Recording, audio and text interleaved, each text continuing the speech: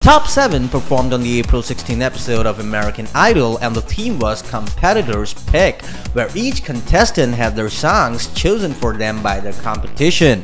The contestants sat down with Randy Jackson to give their best song choice ideas for their fellow competitors, and Caleb Johnson messed up big time by giving Jena Irene the choice to sing Creep because she totally killed it and made herself the clear front runner of the competition at the same time.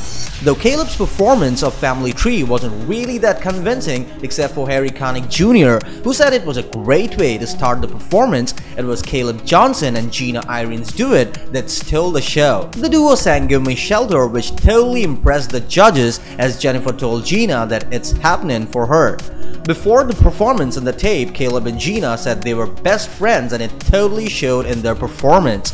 What do y'all think about Caleb Johnson and Jena Irene's performance? Drop in your comments to let us know. Thumbs up for Caleb Johnson and Jena Irene and American Idol Season 13. And don't forget to subscribe to TV Backstage.